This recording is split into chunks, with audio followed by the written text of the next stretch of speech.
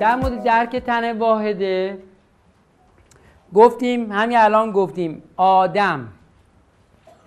خب گفت من می‌خوام یه جانشینی در زمین قرار بدم اما الان ما که هفت میلیاردیم فعلا علال حسابش.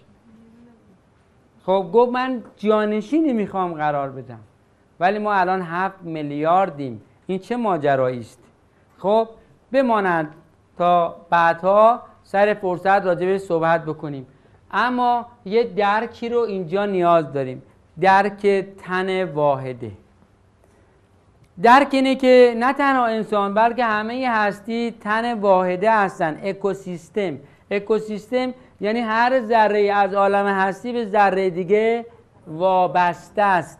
جدا شدنی نیست. اگر یک ذره را برگیری از جای خلال یابد همه عالم به یک جای. خب؟ یعنی عالم هستی بدون یک ذرهش نمی‌تونه باشه. البته ممکنه از دید ما فکر کنیم خب یک ذره رو برداریم هیچی نشه. ولی این ذره بعد از یک میلیون سال فرض کنید یه تغییر روی جای دیگه می‌زد اون تغییر بعد از یک میلیون سال دیگه یه تغییر یه جای دیگه و بعد از یک میلیون سال یک جای دیگه خلاصه بعد از 100 میلیارد سال عالم هستی می‌بینی که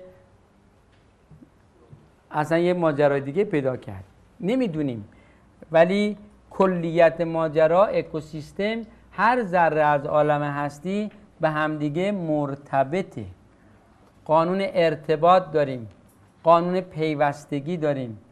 و حالا چیزهای دیگه که با هم صحبت کنیم این مسئله رو در همفازی کیهانی دنبال می‌کنیم.